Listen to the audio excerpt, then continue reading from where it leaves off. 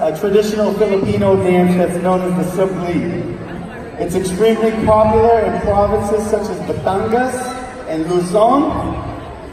Apparently, this dance is performed to honor the Holy Cross of Alitagtag, usually during the month of May. Furthermore, this dance at times also compromises of a chant to the Holy Cross.